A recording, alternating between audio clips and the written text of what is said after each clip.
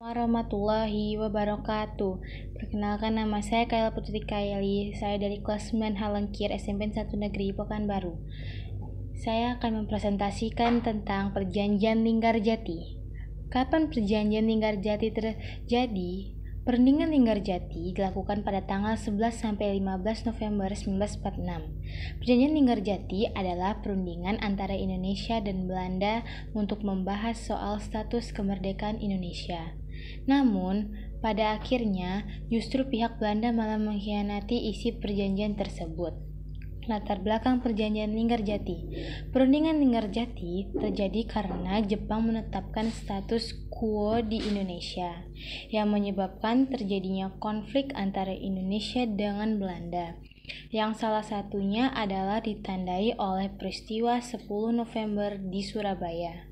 Pada akhir Agustus 1946, pemerintahan Inggris mengirim Lord Killarn ke Indonesia dalam misi menyelesaikan perundingan antara Indonesia dengan Belanda. Lalu, pada tanggal 7 Oktober 1946 di Konsulat Jenderal Inggris di Jakarta dibuka perundingan antara Indonesia dan Belanda. Dalam perundingan tersebut, akhirnya menghasilkan persetujuan gencatan senjata pada 14 Oktober. Lanjutkan dengan perundingan Linggarjati yang terjadi pada tanggal 11 November 1946. Perundingan ini dipimpin oleh wakil Inggris bernama Lord Killarn.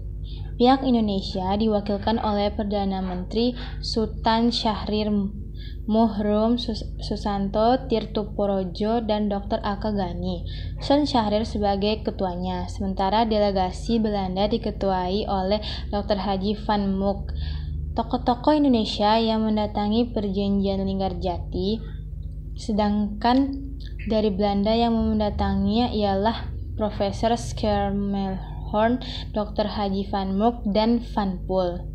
Sekian dari saya. Apabila ada kesalahan mohon dimaafkan. Wabillahi taufiq wal hidayah. Wassalamualaikum warahmatullahi wabarakatuh.